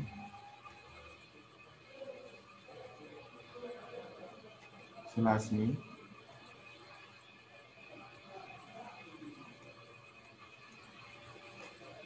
Tidak ada ya?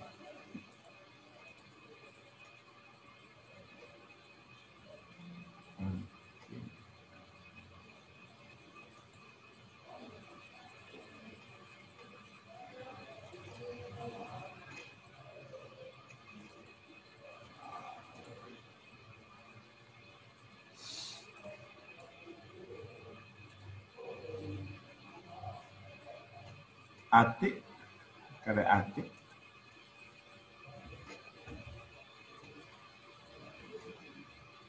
Kreatif. Silakan diambil.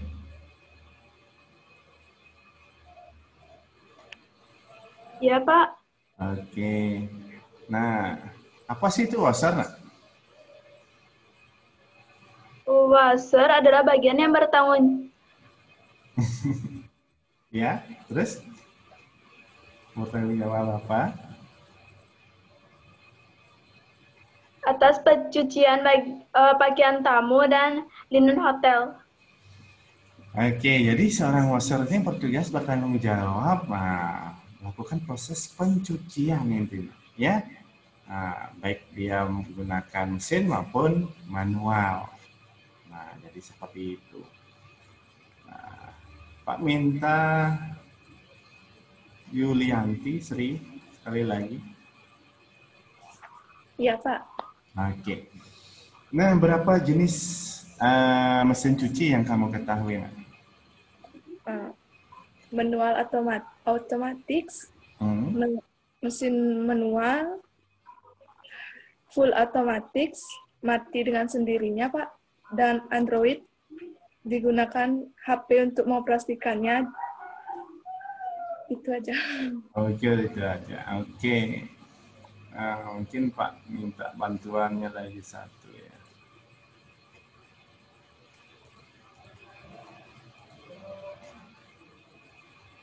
Mungkin Dewa Ayu lagi sekali ya. Ya, Dewa Ayu Purnama ya, minta bantuannya. Nah, jenis-jenis mesin, ya khususnya di mesin cuci dulu.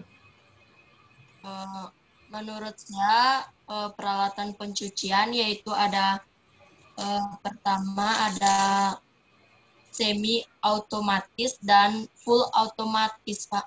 Oke. Oke. Ah, terima kasih ya, Dewa ya. Ah, jadi ah, mesinnya itu nak ya kita bisa bagi yang pertama semi automatic washing machine ya, semi otomatik.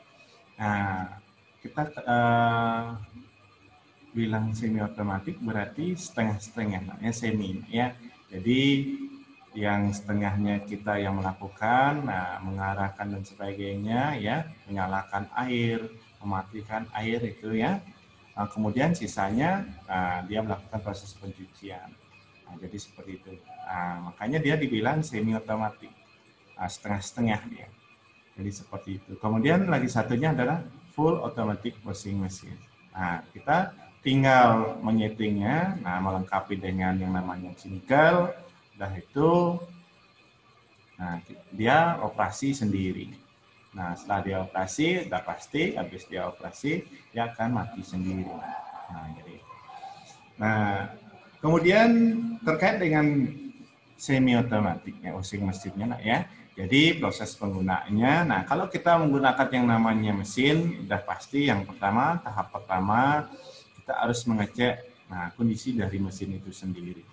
Baik itu semi maupun yang full otomatik. Nah, cek kondisi dari mesinnya, kemudian pembuangannya, kemudian uh, air juga, kemudian baru kita plug in atau kita sambungkan dengan arus listrik. Nah, jadi seperti itu. Nah, kemudian uh, kalau di semi otomatiknya, nah udah pasti kita buka tutupnya, kemudian kita masukkan cuciannya terlebih dahulu, nah, ya. Nah, mungkin sebelum Pak jelaskan, mungkin ada dari teman-teman atau Sinta, ya, riwayat Sinta. Sinta, Eh, bisa diulang, Pak? Oke, Ah, untuk Sinta, eh, bagaimana sih caranya kita menggunakan mesin yang semi otomatiknya? Nah, sebelum Pak jelaskan. Semi otomatis. Ya, yang seminya.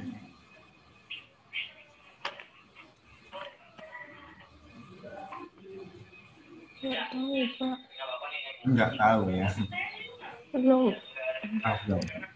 Nah, jadi yang semi otomatiknya ini sudah pasti ah, yang pertama, nah kita kan buka tutupnya nak ya, kemudian kita masukkan cuciannya, habis itu nah baru lengkapi dengan deterjen, ya baik itu deterjen powder maupun liquidnya, itu silahkan disesuaikan.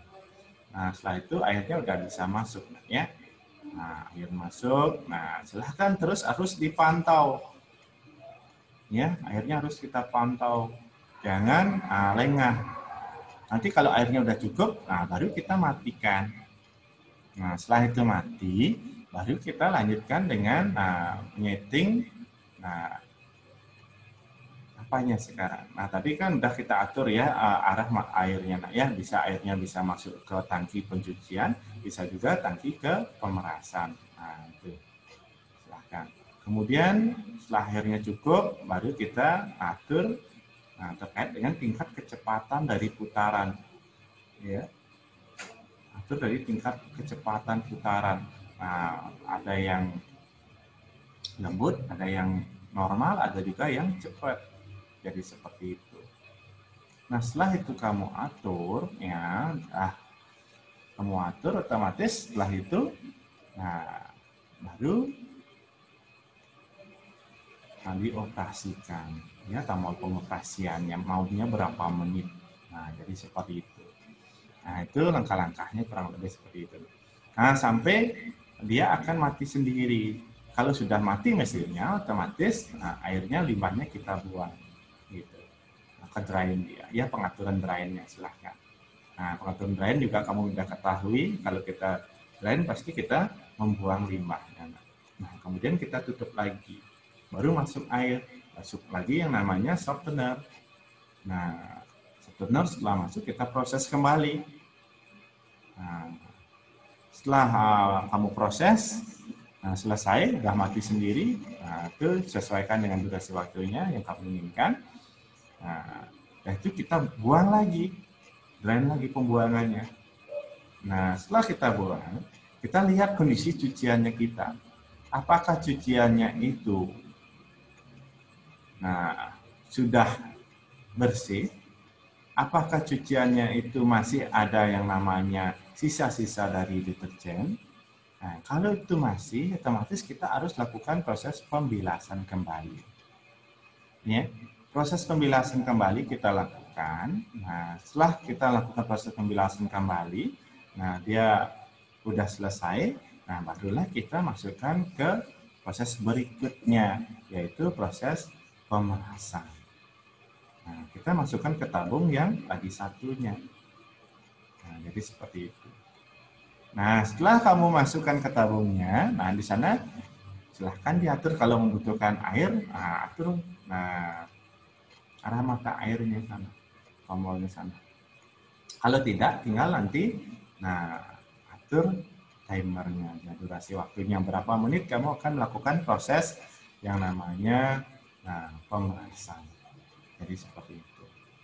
Nah, kalau udah selesai, nah kita siapkan yang namanya basket. Nah, setelah basket kita siapkan, nah kita siapkan basket. Nah, kondisi cuciannya kita lihat. Nah, kalau dia masih airnya menetes, berarti dia masih dalam keadaan basah. Kita ulangi sekali lagi ya pemerasannya. Tapi nanti kalau dia sudah sifatnya lemah, ya yang namanya lemah itu airnya tidak menetes lagi dia. Nah, itu kita udah bisa masukkan ke basket kan, kita bawa ke proses berikutnya yaitu pengeringan. Ya, proses pengeringan ya. Nah, jadi seperti itu. Nah, kemudian kalau kita menggunakan yang namanya mesin uh, cuci yang full automatic ya, awalnya sama pengecekan, nah, kemudian sampai penyambungan ke listrik nah ya ke plug-innya ya kamu colok. Kemudian kalau sudah buka tutupnya masukkan cucian. Semua sekarang masukkan yang namanya nah, baik itu chemicalnya deterjen ya deterjen. Nah, masukkan ke tempatnya deterjen boxnya. Kemudian di sana ada tempatnya terkait juga dengan uh, softener kalau dibutuhkan pemutih, ada juga tempatnya di sana, bleachnya. Nah, itu sekali kita masuk semuanya, nak. Ya, sekali kita masuk semuanya, airnya di sini terus menyala. Tidak seperti yang di semi tadi. Semi yang tadi kita yang mengarahkan, menyalakan air, mematikan air kita yang melakukan. Kalau dalam yang full automatic ini, kita airnya itu akan terus menyala ya dia yang mengatur mesinnya. Kalau dia membutuhkan air, otomatis dia, nah airnya akan masuk. Kalau enggak, dia akan tutup sendiri. Nah, jadi seperti itu. Nah, kemudian setelah semuanya chemical masuk, nah kemudian baru kamu lakukan proses berikutnya. Ya, proses berikutnya itu adalah mengatur sekarang, baik itu durasi waktunya, jenis uh, dari proses yang akan kamu lakukan, Nah, ya. Kemudian pertama atur program. Nah, setelah atur program, atur water levelnya juga. Nah, dan setelah itu nah, startlah dia. Nah, sampai dia mati sendiri, ada alarmnya nanti. Sesuai dengan proses yang dia lakukan. Semakin banyak proses, semakin tinggi water levelnya, durasi waktu akan semakin lama. Jadi seperti itu. Oke, ketika dia sudah uh, berhenti sendiri ada alarmnya berarti cucian itu sudah selesai dicuci. Ya, bahkan dia sampai melakukan proses pemerasan langsung. Nah, itu udah di setting pertama awal tadi. Nah, nah itu selesai kita lanjutkan dengan proses berikutnya. Ambil basket, kemudian masukkan ke basket. Ya, masukkan dia ke basket sekarang untuk dilakukan proses berikutnya yaitu proses berikutnya adalah pengeringan dryernya ya. Nah, oke, jadi itu dulu Nah, berhubung durasi waktu juga singkat sekali, nak ya, Pak cuma satu minta kesimpulan aja ya. Nah, mungkin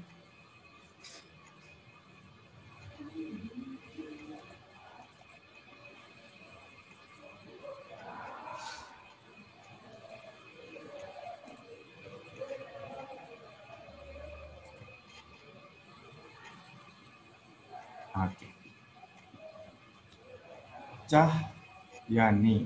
Nah, kesimpulannya apa sih yang bisa kamu dapatkan dari yang Pak jelaskan tadi?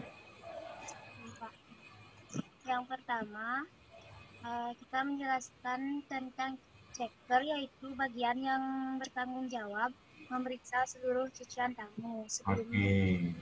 Terus? Berikutnya marker bagian yang bertanggung jawab memberi identitas pada cucian tamu untuk menghindari kekeliruan saat mengembalikan cucian. Oke, good. Lanjut lagi. Seterusnya ada sorter adalah bagian yang bertugas memilah cucian berdasarkan warna, noda, dan servis atau pelayanan yang diminta oleh tamu. Oke. Selanjutnya ada washer adalah bagian yang bertanggung jawab atas pencucian pakaian tamu dan linen hotel. Em, jenis jenis eh, mesin cuci eh, ada dua yaitu semi otomatis dan full otomatis Pak. Ya, oke. Oke, jadi itu dulu nak ya untuk pertemuan kita hari ini. Nah, selebihnya kita akan bahas minggu depan nak ya. Nah, oke itu yang Pak uh, bisa sampaikan ke hari ini. Mudah-mudahan bermanfaat buat kalian semuanya. Akhir kata Pak, tetap dengan nama Santi Om Santi Santi Santi Oke, selamat siang.